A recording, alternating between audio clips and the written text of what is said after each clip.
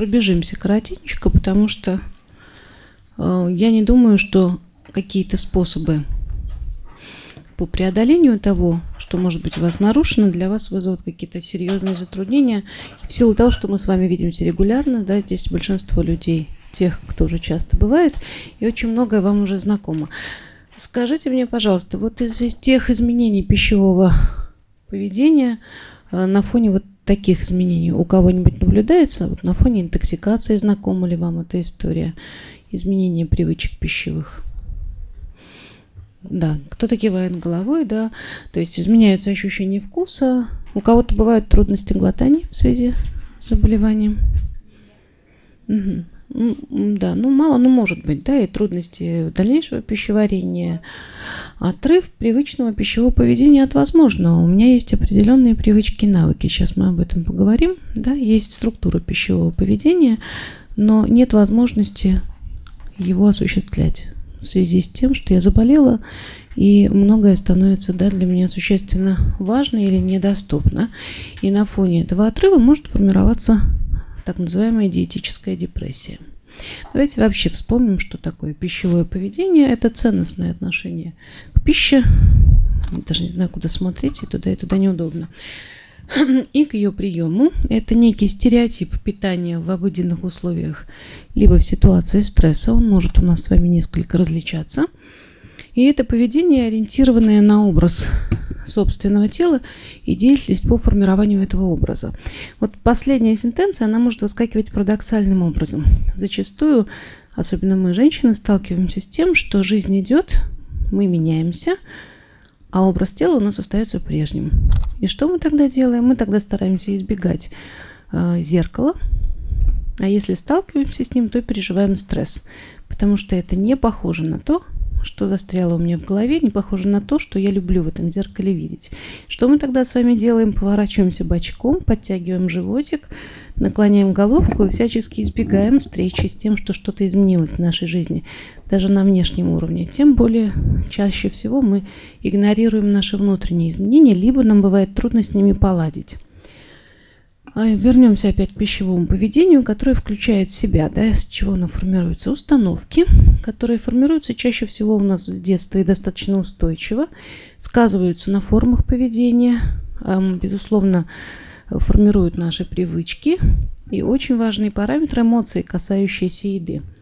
И все эти перечисленные факторы, они абсолютно индивидуальны для каждого человека. Пищевое поведение бывает адекватным, гармоничным или отклоняющимся, то есть девиантным. Вот если мы с вами точно знаем, что э, жирное мясо нам уже не полезно, но до смерти иногда хочется нарубиться шашлыка, это проявление девиантного поведения. Зависит наше пищевое поведение от иерархии ценностей. Мы сейчас рассмотрим, да, почему это мы можем начать есть жареное мясо, попадая в определенную обстановку, и от количественных и качественных показателей питания. Опять-таки мы привыкли есть пол ведра, да, или э, мы привыкли определить вот именно тот или иной вкус потреблять. Допустим, нам больше это недоступно. И встает вопрос, извечный вопрос человечества. Я ем, чтобы жить, или я живу, чтобы есть? Ну, у меня, например, однозначно, я живу, чтобы есть. И посмотрим, почему бы это у меня так получилось. Потребность пищи – это одна из первичных биологических потребностей, которая изначально направлена на поддержание гомеостаза. Вы все читаете слайды и видите, и слышали сейчас прекрасную длинную лекцию о том, что, по идее, еда нам нужна для того, чтобы обеспечить себя энергией, строительным материалом для клеток, да, и а, созданием сложных химических соединений в нашем организме. Однако зачастую стиль нашего питания идет абсолютно в разрез – таким, кажется, да, элементарным делом, как забрасывание в себя какого-то определенного количества калорий. Потому что наше пищевое питание, безусловно, отражает эмоциональные потребности и душевное состояние. Почему это так формируется? Ну, потому что когда мама кормит нас грудью или там э, какой-то период времени младенец испытывает чувство голода, если мама почему-то, начитавшись с полка, да, выдерживает определенные промежутки, ну, все сидящие в зале наверняка по этой системе и были воспитаны. И пока младенец не получает вот эту удовлетворения получения пищи, он испытывает выраженный дискомфорт. И очень быстро осуществляется эта сцепка в головном мозге. Комфорт питания. Не только количество пищи и количество, да, мы же еще тогда не осознаем, с чем связано питание. Набил рот и желудок, успокоился – это формируется очень рано, и потом очень трудно это осознается и трудно разбивается. Вот почему мы можем иметь диетическую депрессию или иметь депрессию на фоне того, что что-то изменилось, вкусовые пристрастия придется менять, а точнее они уже изменились, да, под воздействием, например, химиотерапии, а, а привычка осталась. Осталась привычка есть вот это и столько – и от этого я чувствую себя хорошо. Вот это основной такой паттерн, на котором а, строится а, вся психологическая зависимость в процессе питания. Младенец усваивает, что его любят, и он защищен, когда получает еду. Потом это всячески а, подтверждается на, в течение всей нашей с вами жизни, закрепляется эта связка. То есть, кроме поддержания гомеостаза, мы начинаем испытывать чувство расслабленности после приема пищи, непосредственно получение удовольствия от проглатывания или там вкусовых ощущений. Это переходит на коммуникативный уровень. Я доверяю этому человеку, я с ним кушаю. Видите, как много да, закреплений. Если мы вместе, значит мы и кушаем вместе. А, самоутверждение. Я вот в ленде закупаюсь, да, кто-то в пятерочке. То есть переходит уже на социальный уровень взаимодействия с едой. Познание, да, я приехал в другую страну, мне любопытно, как они в этом смысле. Я начинаю есть что-то такое, что дома не потребляю. А поддержка ритуала или привычки. И все это, все это э, является некой компенсацией, некой наградой и потребностью в чувстве защищенности. Ну и удовольствие, э, эстетическая потребность тоже да, в этой иерархии может находиться. То есть мы переходим в разряд психологических и социальных потребностей. Из безусловной биологической составляющей уже переходим на наш с вами человеческий уровень. Снимаем психоэмоциональное напряжение, наслаждаемся. А гедонисты, наслаждение, да, как э, сама цель в иерархии потребностей имеют на первом месте а, общение и самоутверждение в социуме, идентификация в среде. Ну вот кто-то сегодня говорил о том, что пост и мясо нельзя. Да, когда мы придерживаемся каких-то норм, мы, собственно, находим рамки своей идентичности. Какой я, что для меня ценно, как для человека некоего социума. Ну и компенсация неудовлетворенных потребностей в родительской заботе – это, пожалуй, база и основа, а все остальное – производные ее. По большому счету, в свое время мы с вами формируемся а, именно вот в этой связке. Да, мне плохо, я поел, мне стало хорошо. А, международная классификация психических болезней 10 пересмотра, которая а, действует в России – в расстройствах приема пищи, но вы читаете, да, наверное, имеет такие подразделы, там есть нарушение, но скорее это нарушение психического порядка. Здесь не идет речи, ну, разве что расстройство приема пищи не уточнено, речь не идет о том, что человек болен и подвержен внешним воздействиям. Поэтому мы будем к этому апеллировать, и, в общем, нам деваться некуда. Все, что связано с коррекцией пищевого поведения, лежит вот в рамках изучения этих вопросов. Но у нас-то с вами есть причина да, иметь вот эту нестаковку, отрыв пищевого поведения от того, что нам сейчас доступно. И лучше нам с вами находиться в другой категориальной сетке, говорить о эмоциогенном пищевом поведении – об экстернальном пищевом поведении. И одной из его особенностей, э, вариаций – ограничительное пищевое поведение. Особенности экстернального пищевого поведения в том, что человек реагирует не на внутренний стимул, а на внешний. Почему-то для него несущественны внутренние порывы и позывы. Не умеет он считывать и реагировать на такие показатели, как подлинное чувство голода – с сахаром, там, да, какие-то могут быть, да, проблемы, что у нас еще, да, глюкоза, жирные кислоты, пустой желудок. Для человека эти импульсы внутренние несущественны. а существенно для него то, что он видит вокруг себя на прилавке. Увидел красивую конфету, сразу ее в рот. То есть сугубо внешний стимул управляет пищевым поведением этого человека. Это вот из разряда переедания за компанию, вечных перекусов, потому что шел мимо, почему бы не съесть, и покупки лишних продуктов. На этом построен весь маркетинг. На привлекательности, привлечении того, что нам хочется. Такая, знаете, тяга потреблять. То есть буду есть, пока не закончится, никогда ни от чего не откажусь. У таких людей запаздывает ощущение сытости. Нарушена вот эта взаимосвязь, да, я уже сыт, а, нет, я буду есть, пока что-то останется на тарелке, не останется на тарелке. Эмоциогенное пищевое поведение. Ну, 30% населения этим страдают. Все женщины, которые выглядят как я, то есть эмоциональные и полноватые, скорее всего, относятся к этому типу. Но бывает, что и женщины, э, что и мужчины тоже, и люди с отсутствием избыточного веса тоже к нему относятся.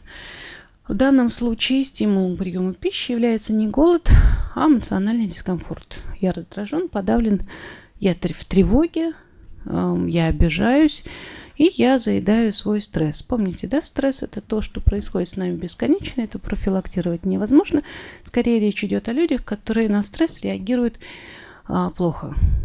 Они не научаются в формате стресса преодолевать трудности, а сразу уходят в себя, начинают горевать, и такие люди с эмоциогенным пищевым поведением заедают свой стресс.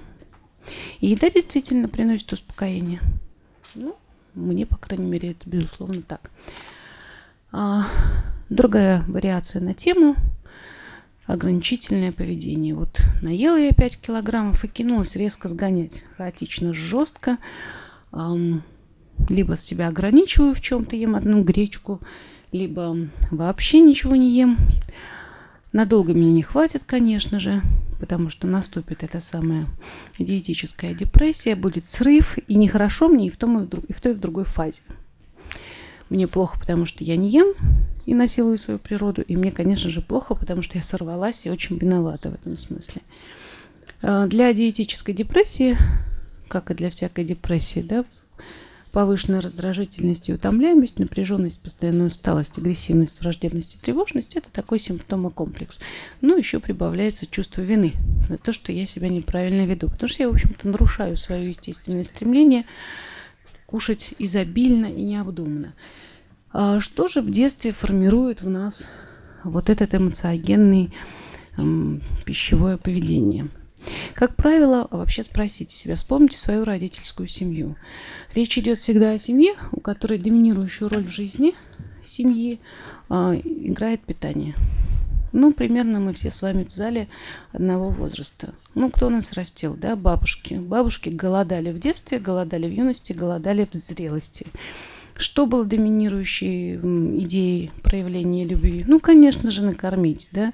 Моя бабушка сибирячка, пока сто пельмешек мне не скормит в моем раннем детстве, да, мы обе не будем счастливы, пока это не произойдет. Но это же очень раннее закрепление этого симптома. А потом, помните, не плачь, скушай конфетку. То есть любой физиологический или эмоциональный дискомфорт, и это вот наша такая традиционная постреволюционная история обесценивания психологической симптоматики «не плачь, не мешай, а там веди себя прилично, съешь лучше конфету». Опять закрепили вот этот э, эмоциональный дискомфорт, забивается, как будто это голод, забивается чем-нибудь вкусным. А, в какой семье, какой из, у кого из вас в семье формировалось адекватное обучение – эффективному поведению в период стресса.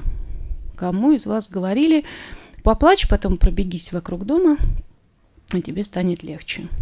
Ну, конечно же, да, трудно было просить, требовать этого от наших родителей э, в условиях тотальной психологической безграмотности. А наруш... Э, нарушение взаимоотношений между матерью и ребенком. Это не про то, что мать плохая, опять-таки мать э, занята. Да, ну, помните, как быстро мы попадали в ясли и в садик. Помните, как замотаны были наши работающие матери в очередях вечно простаивающие. И, конечно, на фоне такой хронической усталости покормить, одеть, будь и уложить, да, и не вникать в наши потребности. А если кто-то жил в конфликтных семьях, это тоже фактор риска при нарушенном пищевом поведении. И вот это вот бабулина моей, моей обожаемой бабушки, эта история, что не выйдешь со стола, пока тарелка твоя не будет пуста. Тоже наш привычный момент. Так вот, когда мы попадаем в условия заболевания, когда мы вынуждены ограничиваться в питании или менять набор продуктовой корзины, но ведь все эти факторы входят в безусловный внутренний конфликт. От этого, собственно, мы и страдаем.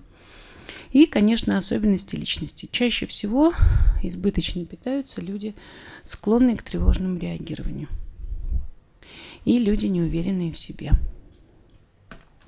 И тогда речь идет уже об ожирении, и тогда уже придумана э, гипотеза на стыке социального научения и концепции стресса, но речь всегда идет о том, что следствие заученной неспособности к развлечению чувства голода и состояния тревоги и является тем, что в результате чего человек реагирует на стресс как на голод, увеличением потребления пищи. И таким образом, как мы будем контролировать, как мы можем контролировать вот этот стресс, когда наши привычные пищевые, наши пищевые привычки входят в клинч с новым, да, вот этим с новой вводной «я пациент», я должен себя ограничивать. Ну вот нам и придется вернуться к нашей психологической категории, минимальному анализу.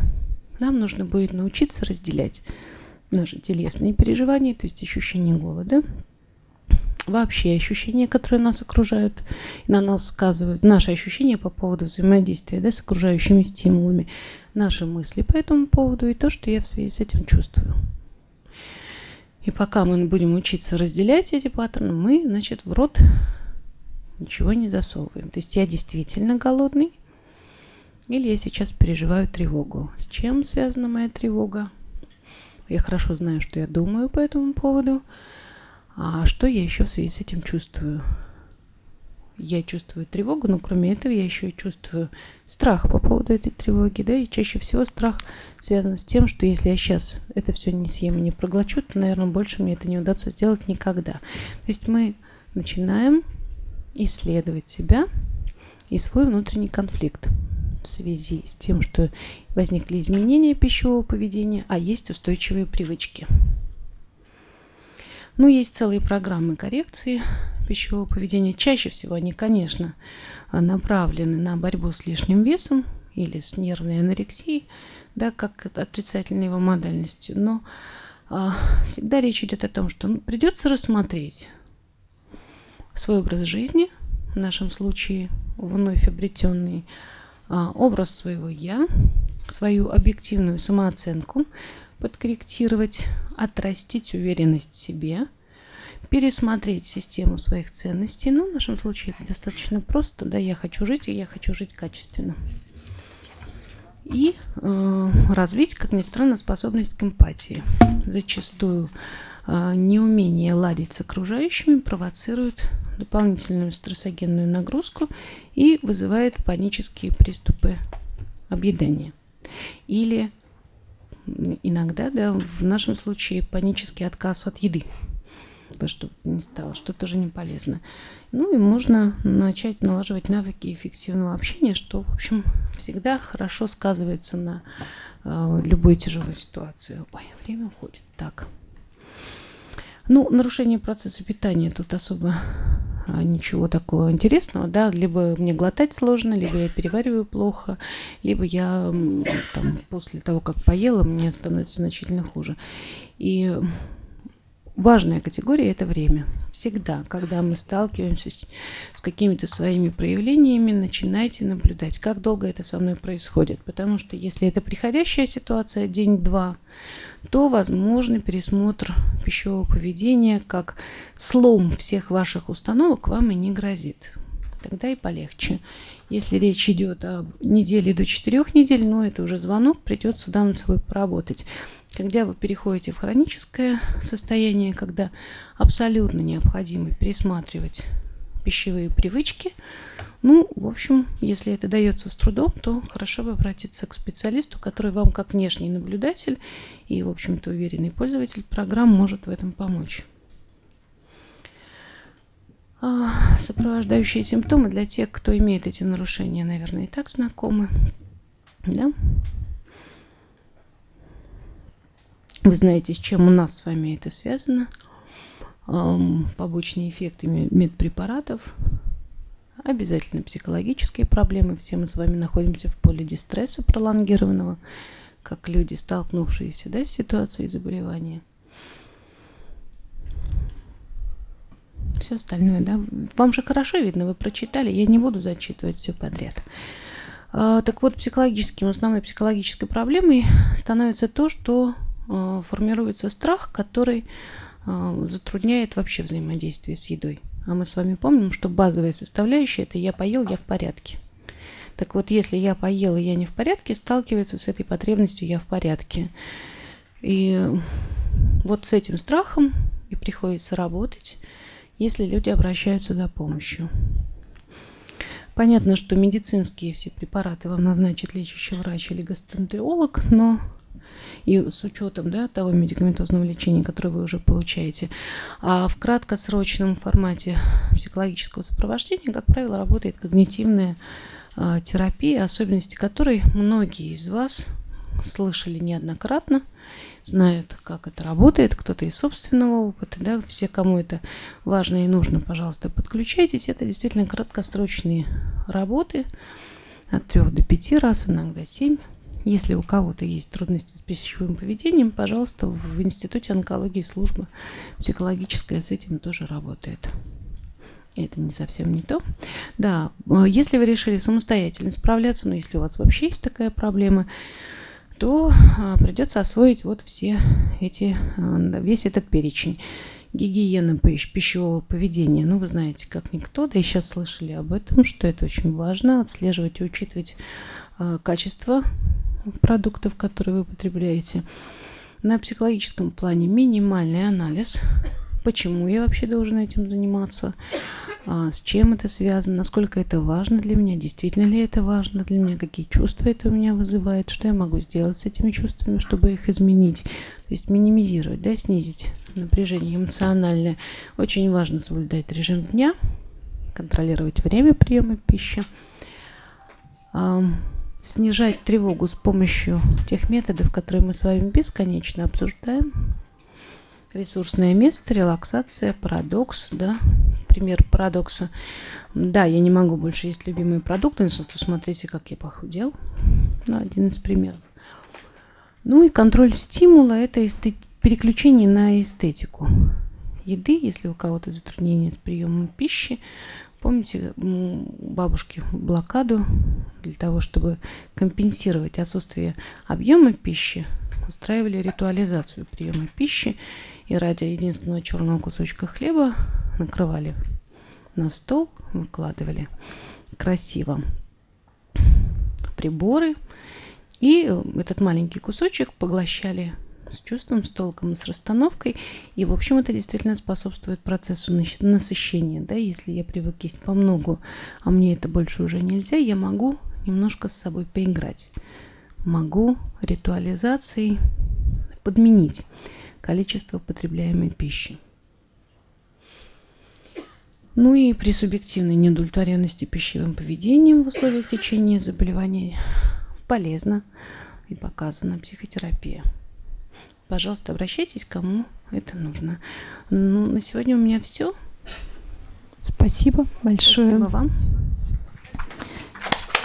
Если нет никаких больше вопросов. один вопрос, Маргарита Валерьевна. Все-таки стресс, а, какая-то критическая ситуация, ну вот он может быть глупый, но вот что хуже, когда человек много ест или он вообще ничего не ест? Вот, или это однозначно то и другое вот плохо? Плохо то и другое, конечно по крайней мере, переесть до такой степени, как недоесть, наверное, мы не сможем. Ну, переем будет тяжело. А когда человек вообще просто отказывается от Когда пищи, человек вот, да, отказывается у меня стресс, от я пищи, да, вот я вот- да, это, это плохие показатели, это уже нужно работать э, с психологом. Ну, вы же только что слышали блистательную лекцию о том, что в нашей организме, как часы, да, все должно быть вовремя получено и переработано. И с избытком мы еще как-то справляемся, ну, уходит в жир, уходит, ну, ходить тяжело.